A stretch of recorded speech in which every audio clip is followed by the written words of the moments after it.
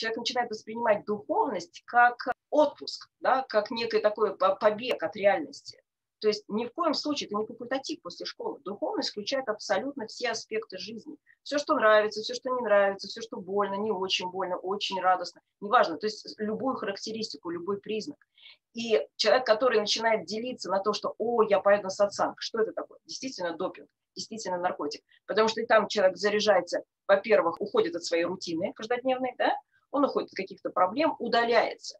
Но суть-то заключается в том, что вернуться-то все равно придется. Место, на котором ты стоишь, есть земля святая. Для этого не надо куда-то ехать, потому что реальность одного, оно может быть как местом силы, так и местом отсутствия силы, в зависимости от того, что происходит с человеком.